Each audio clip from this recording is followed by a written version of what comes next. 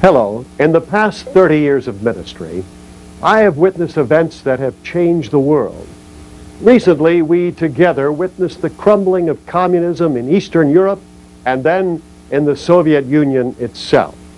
But in July and August, we observed right here in America's heartland an event which I believe was very significant and yet which many people have never really seen accurately.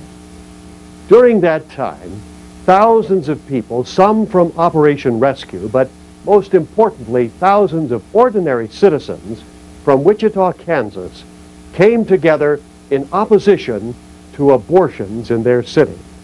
But what began as a simple rescue became something much more potent and powerful.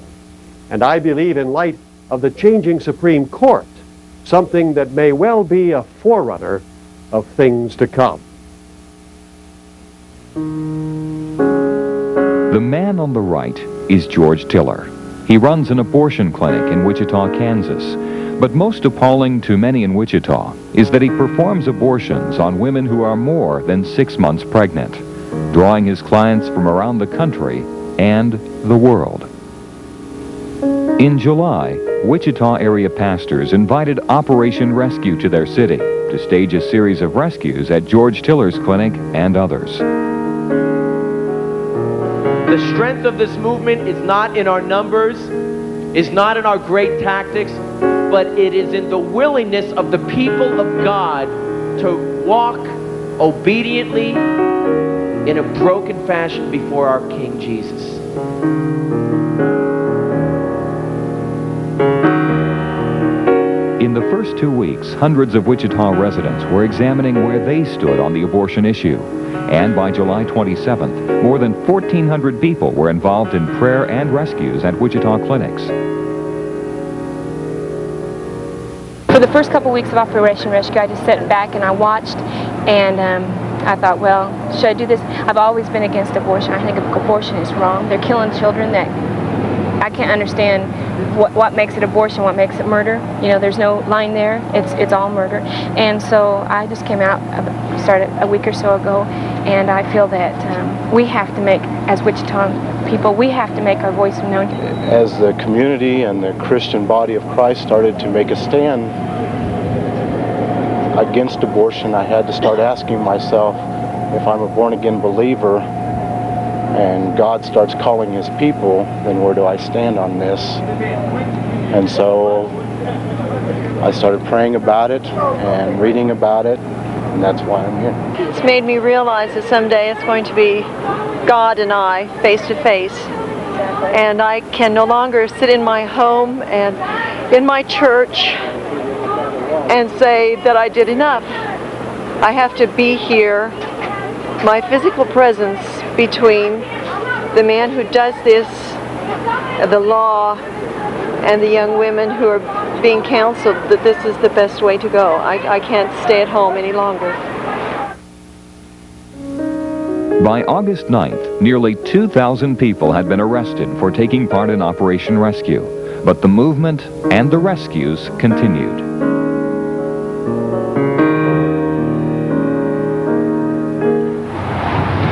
Kenneth McCarrick, United States Marshal, District of Kansas. On August 5th, 1991, U.S. District Judge Patrick Kelly issued a preliminary injunction. Anyone blocking access to this clinic or violating any other conditions of the injunction will be arrested.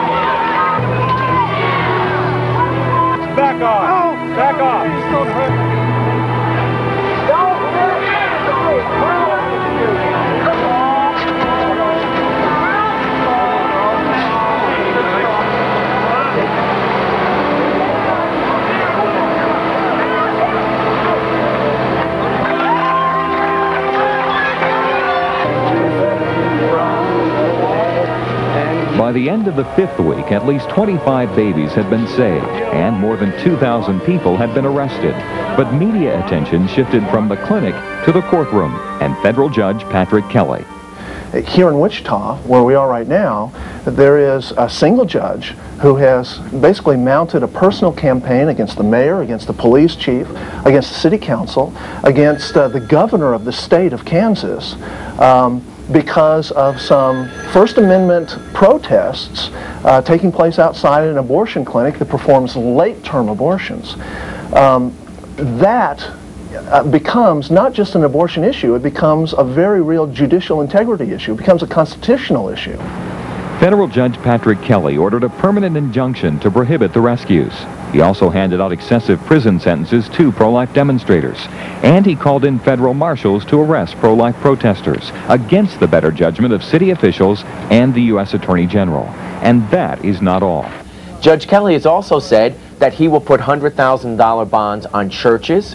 He has told them he will go after their Sunday school, their nursing homes, that if any clergy gets involved, he will personally attach the church's finances. And he, he told me, and he told a crowd in a press conference, bring your toothbrush, because if you go to jail, you won't get out before Christmas.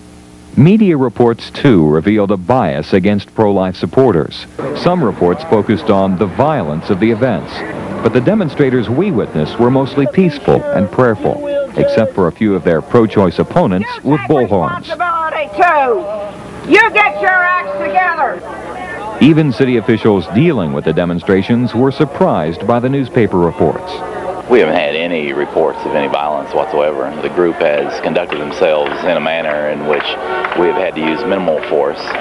What I've seen are deeply committed men and women who are peaceful and nonviolent and uh, disciplined. In fact, the only violence we saw took place when this policeman beat a protester. Yet even after reviewing this incident twice on videotape, a New York Times reporter refused to acknowledge the battery in his article the following day. Media reports also led people to believe that most of the demonstrators were from out of town. But again, we found these media reports to be inaccurate and untrue. How many of you are actually from Wichita? Most of these demonstrators, like those we met at other sites, were simply ordinary citizens who had been moved to take a stand by what they saw, like David and Jan Hickman and their children. I hadn't really I hadn't really cared about the abortion issue that much, you know, it hadn't been that big of a deal. Didn't really realize what was going on and everything and these kids came from down from Texas and they were really into it and loving the Lord and everything and they had two younger sisters or brothers sisters. one sisters that were born and they died about 24 hours later but they all got to hold it and these people don't don't even realize it's a baby and it's awful that these people want babies and can't have them like people that want to adopt them and People are killing perfectly healthy babies. Though the Hickmans had never taken part in a protest before, their entire family participated in the rescues, and all but one member were arrested. That was really the story we saw in Wichita, that in spite of the inaccurate reporting of the news media and the opposition of Judge Patrick Kelly, the pro-life movement grew, and in the process, something special happened in Wichita's Christian community. Every night for more than five weeks, thousands of Christians from Catholic, mainline, and conservative churches alike came together for worship and prayer. More than 80 area clergy joined hands on the abortion issue, and the effect of this revival touched the lives of many of Wichita's citizens. And every night you praise and worship the Lord and get close to Him. And it's drawing lots and lots of people a lot closer to the Lord right now. And it did me. This is my hometown, and I must say I am moved. It's something that's going on in Wichita. I mean, I, I was born and raised here, and this is a very oppressive city. It has been. I lived here 25 years, and I am glad to see that God is doing something in my hometown. By by the day of the final rally, more than 35,000 people came together, a witness to the work that had been done in the hearts of Wichita's faithful.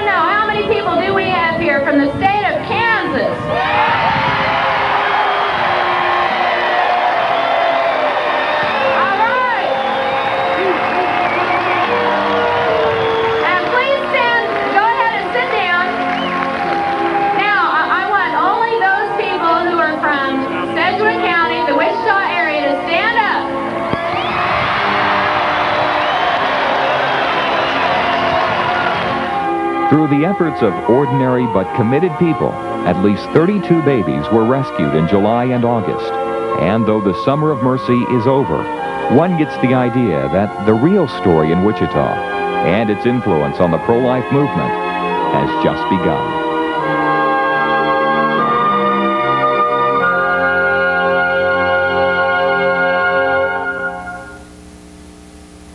If you are like most Americans, what you witnessed about the Summer of Mercy in Wichita was largely the result of media reporting, which we have seen in many cases was distorted, biased, and inaccurate.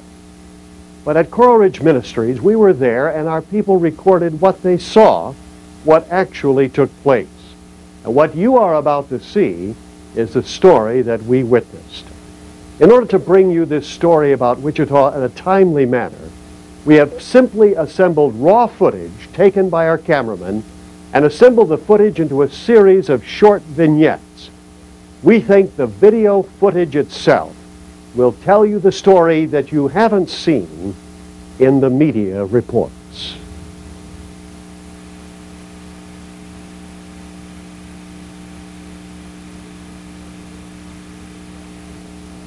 It is extremely important for us to have the heart of Christ, a broken heart, a humble heart. That is essential. This is the day that the Lord has made. We will rejoice and be glad in it. And Father, we just seek you and trust you. Father, we pray for all those participating in the Summer Mercy Operation Rescue, that we would be gentle, that people would see our humility and our brokenness. People would see our commitment to peace. For thine is the kingdom, and the power, and the glory forever. Okay, here's what we're going to do. Um, the rescue will be taking place at George Tiller's this morning. There's our chariot of fire over there. Um, if you have a car and you want to drive yourself over, that's fine. But we would encourage people going over on the bus. There is limited parking over there and they tend to ticket you. And some people have been towed.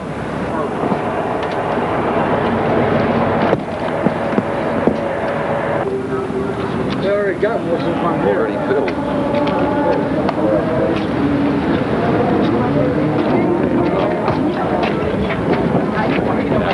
My doctor said. Back to the bus. Everybody back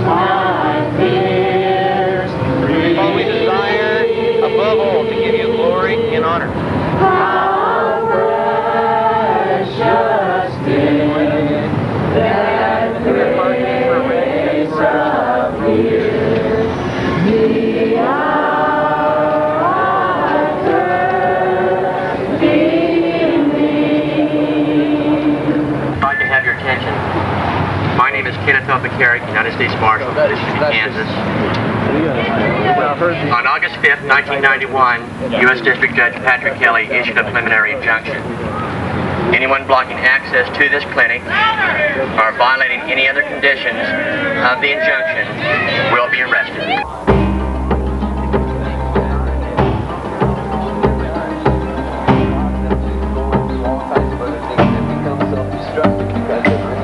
what they've done. And there's, they feel there's no way that they can do anything about it. We're here because Jesus loves them and wants to rescue them also. And there is forgiveness. Amen. Amen. Amen. Amen. Amen.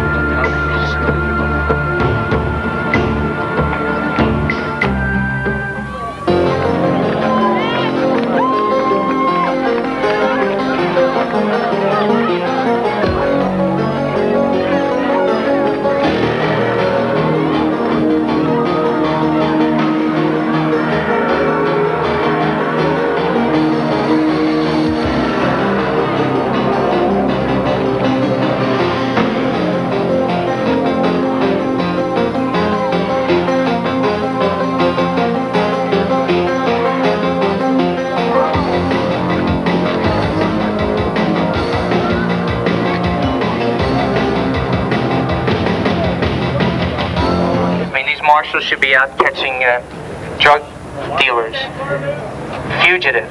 Uh, police should be policing neighborhoods. Instead, they're helping George Tiller kill children. It's a sad day.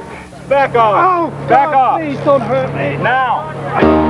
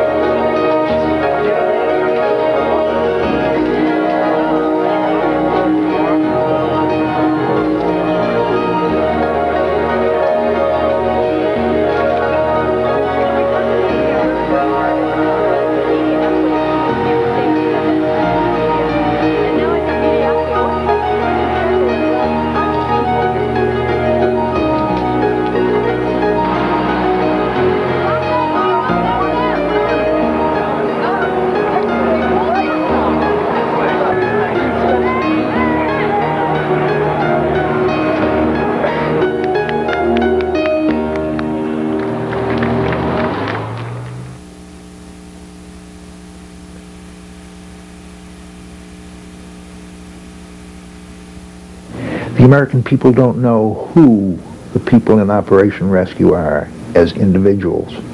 There are grandmothers. There are pastors. There are clergymen. There are nurses. There are teachers. There are doctors. They're your next door neighbors who have had the grace to realize that 4,000 unborn children are destroyed each and every day in this land.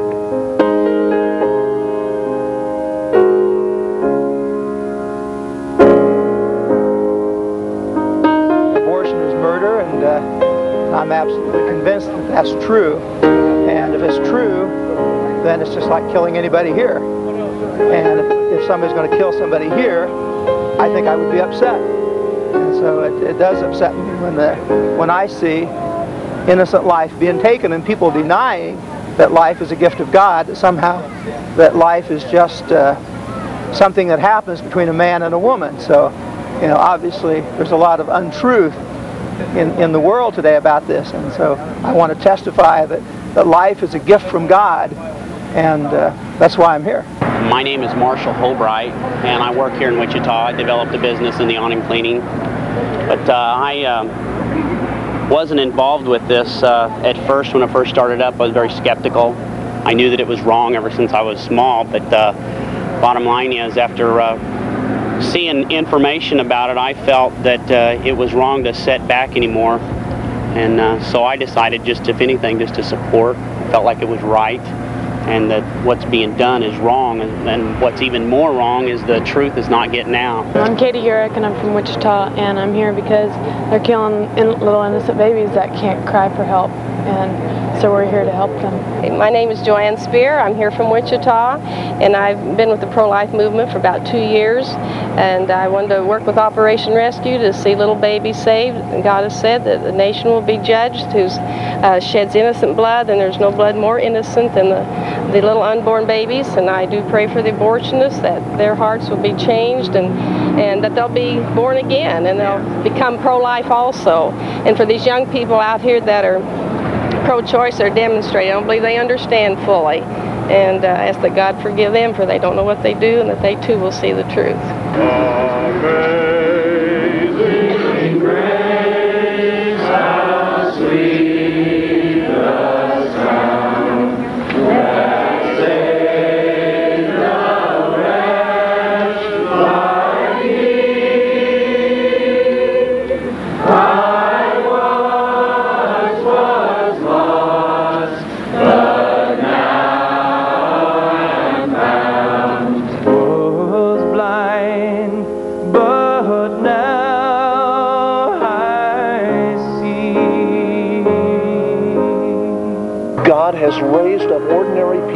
the heroes of the Church of Jesus Christ, literally, laying down their, their lives, their fortunes, and, uh, and their reputations for the sake of a simple proposition that all men are created equal, endowed by their Creator with certain inalienable rights, and that these rights begin first and foremost with the right to life.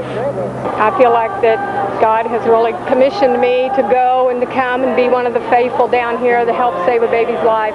If we believe that God is God and that His Word is true, then we as Christians have to stand up and be willing to sacrifice to stop what we believe is wrong according to God's Word. I can't stay home any longer. I know that every day babies are killed, and if my presence can in some way help even one to be saved, my time has not been wasted. If people realized the humanity of the unborn that is clearly demonstrable, demonstrable, they would rise up and they would end this outrage. Amazing grace, how sweet the sound that saved a wretch like me.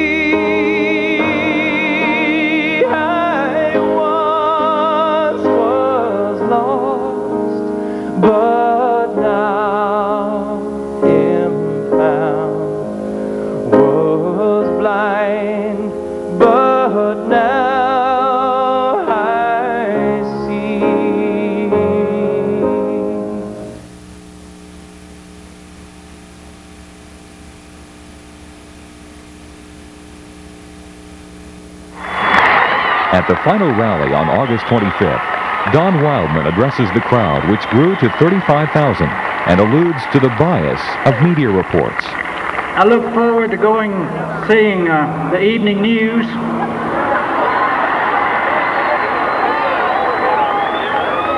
Two minutes for the pro-abortion side, 30 seconds for you. And I'm sure that all 10,000 of you will be described. The crowd then chants to the media, tell the truth.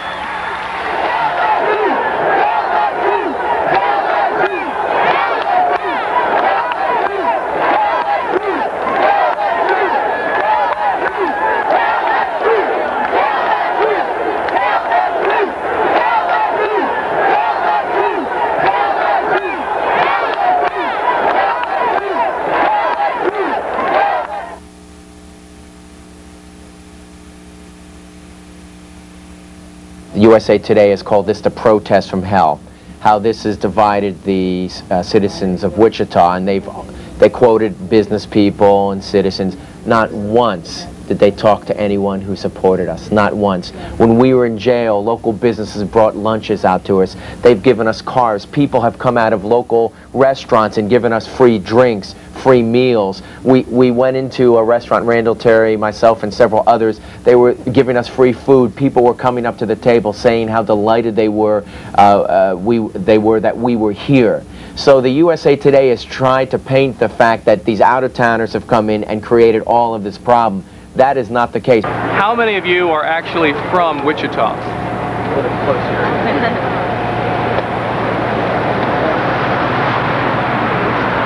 You're all Wichita. Just out of curiosity, we want to know how many people do we have here from the state of Kansas?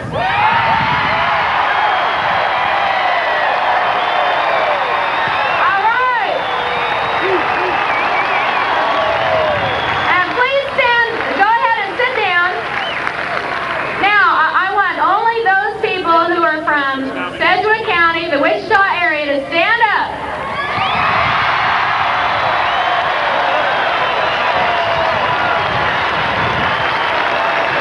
All right. I would say that we have a definite, definite majority from this area locally. How about that?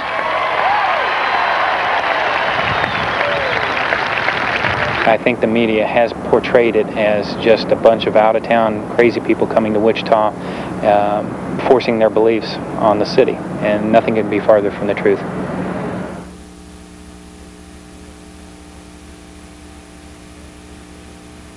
We have never been more warmly received. The citizens of Wichita have been very supportive, but the major media outlets have tried to create that we're this uh, violent group. That's another thing, bloodbath, violence, bloodshed. There's been 2,000 arrests here in Wichita. Not one charge of a violent act. Not one. Not one piece of property being destroyed. We haven't had any reports of any violence whatsoever. The group has conducted themselves in a manner in which we have had to use minimal force. What I've seen are deeply committed men and women who are peaceful and nonviolent and uh, disciplined. Now, if there have been occurrences uh, apart from that, you know, I haven't, uh, I haven't seen it. If you looked at secular media, if you look at the newspapers, I've been in the last two weeks from one end of the country to the other just on personal business. And um, they paint you the picture that there's hostility here, that there's violence here. Uh, I, I, who am, I'm very pro-life, I'm used to demonstrations.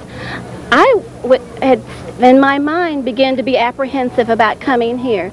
So I would just challenge people to take a step and come out and see.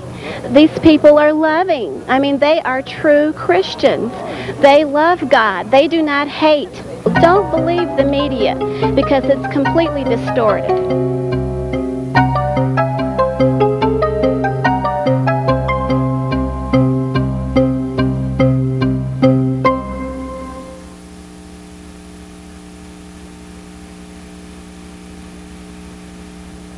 A striking example of media bias occurred on August 25th during the last major rescue. All summer long, the Wichita police had shown professional restraint. But on this particular day, one officer did become violent, using mace and punches against the peaceful protesters. Bob Allen of Coral Ridge Ministries videotaped the incident and showed it two times to a New York Times reporter. Here's the videotape the reporter saw.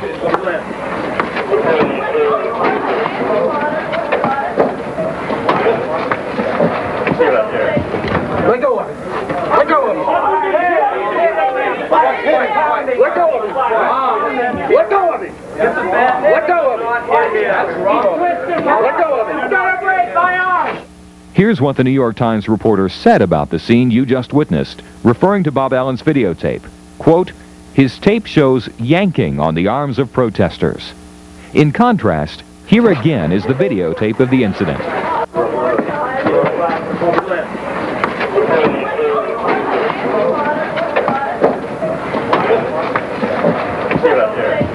Let go of it. Let go of it.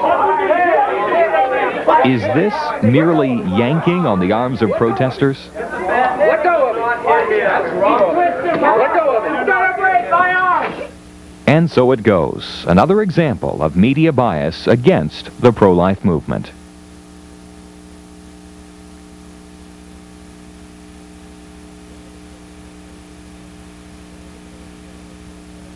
One of the things that has been exciting to me as I've watched events here in Wichita, Kansas, is that uh, I have seen a glimpse of revival. And that may be the most significant thing of all.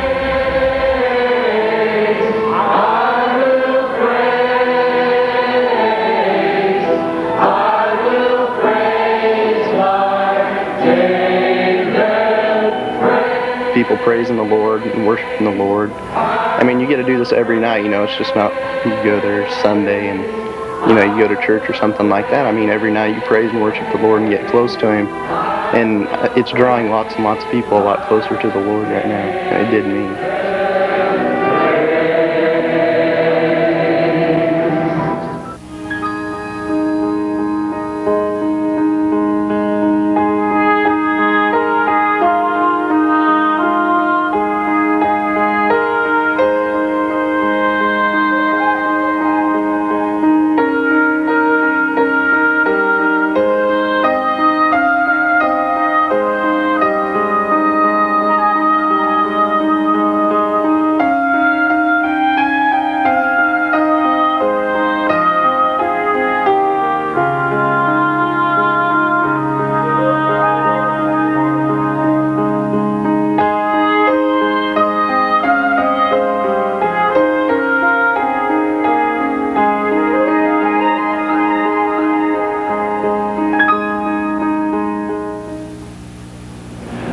Strongly encourage all area clergy to join us this Tuesday and Wednesday, August 13 and 14, at the Plaza Hotel for a time of prayer, fasting, and dialogue concerning these issues.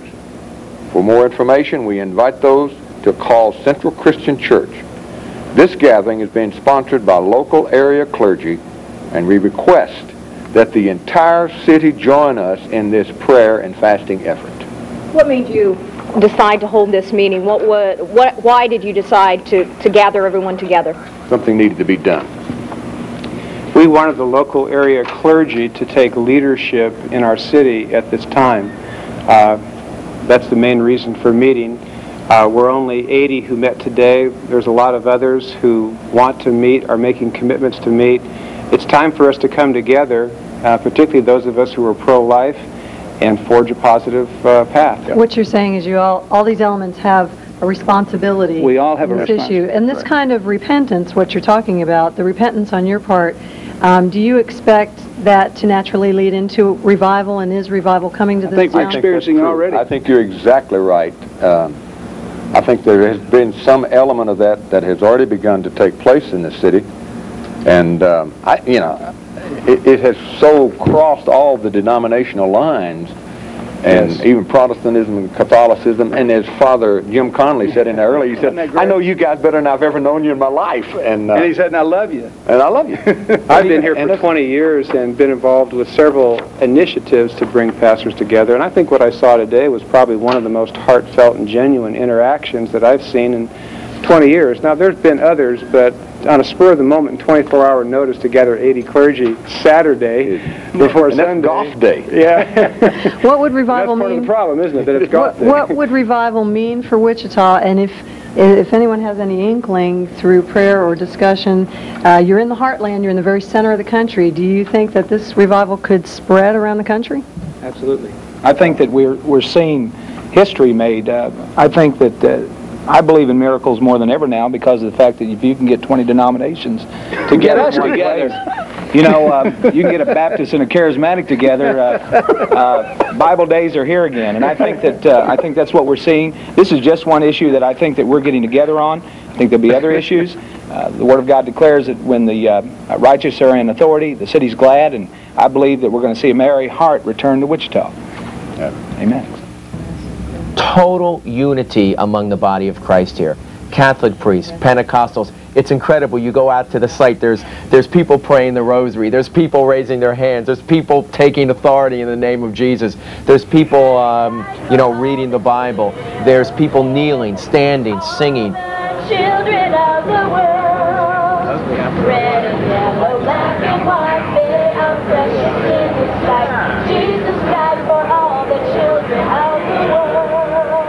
We have demonstrated that when the body of Christ really gets together, puts aside their differences, their theological separations, and says, we will work together under the banner that Jesus is Lord to end the destruction of human life, we can make a difference.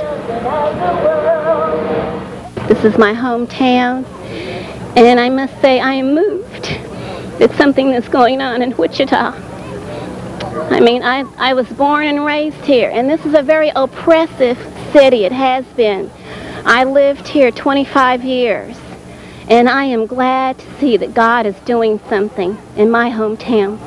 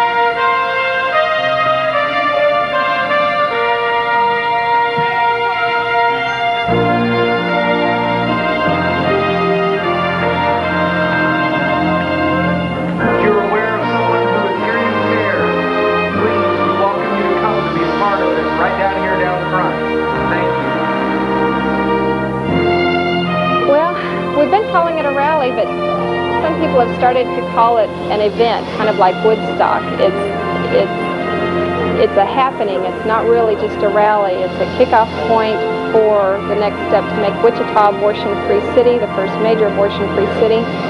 Um, we have people from all over the country who are coming, Pat Robertson, Beverly LaHaye, uh, Don Wildmon, and we have some people from local people that are leaders that are also going to be participating.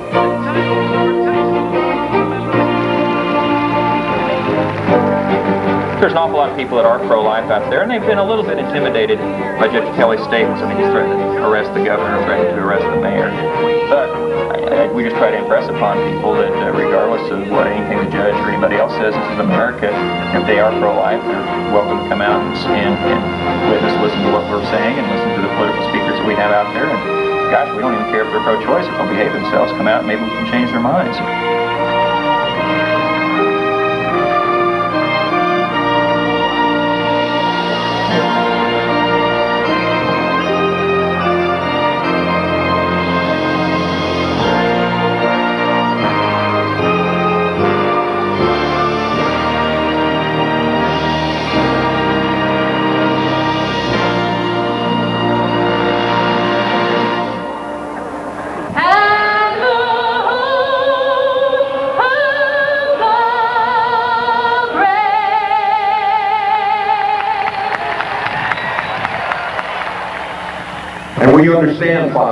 Occasion that brings us together is one of our national shames. My name is Mary Wilkinson, and I will be your MC this afternoon. Um, I notice we've got this airplane flying over saying, Go home, Wichita is pro-choice. You know, we are home. Can you just say that? We are home.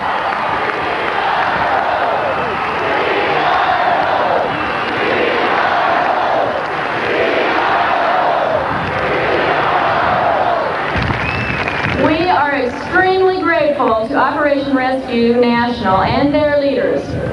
Through their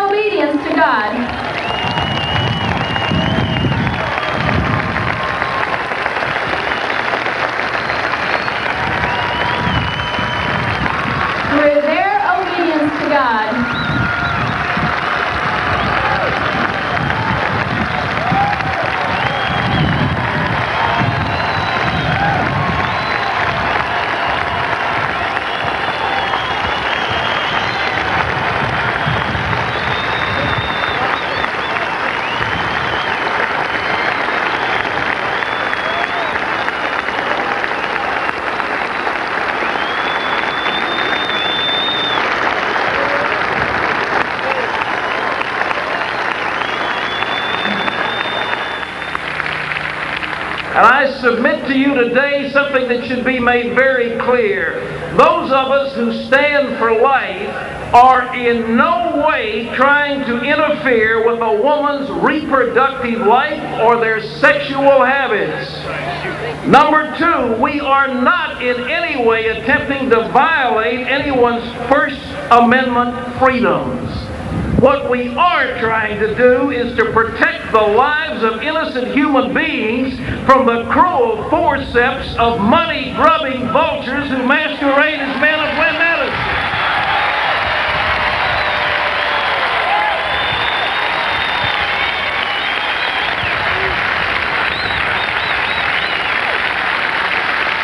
Well, the things I've been through in my life, I know what it's like to be raped. I know what it's like to be abused.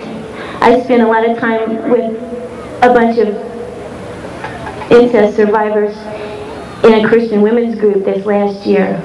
I know what it's like to want your body to be yours. And I know what it's like to not want a man to be boss over your body. And I just want to say to anybody who does feel that way, my heart goes out to you and no, no one has a right to abuse you. But no one has a right to do what I did either and to just ignore this little child that was within me that would have loved me more than anybody else, that I would have loved more than anybody else. No one has the right to take their chance away. Right. And I just want to sing this song on behalf of my little child.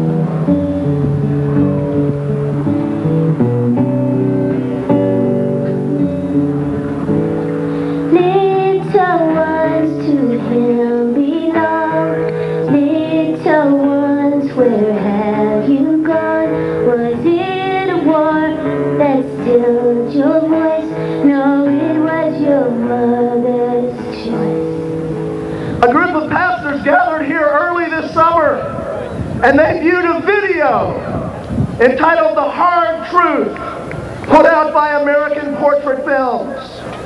They took one look at this hard truth and they realized that they could not stand idly by any longer. One day, maybe in the not too far distant future, we'll pick up the Wichita Eagle and we'll read Abortion has breathed its last. Thank you. I issue this call to the fragmented portions of our city, a city that I've been privileged to be a part of for all of my 41 years. I say to my fellow clergy, it's time to stand. It's time to come out of our closets.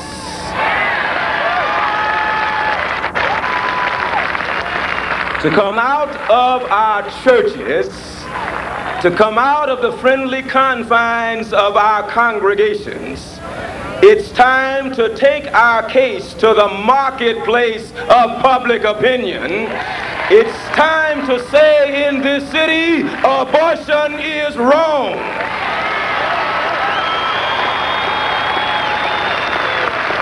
Four weeks ago, I stood before my congregation and I said, I want to ask for your forgiveness. I want to repent. Because for 20 years I've preached that abortion was the killing of children, but I've done nothing about it. I count it as a privilege. I count it cause for praise to kiss my children goodnight at the close of every day. For I know too soon there I belong and walking out the door. And I'll never have a child to kiss goodnight anymore. I'll never have a child to kiss.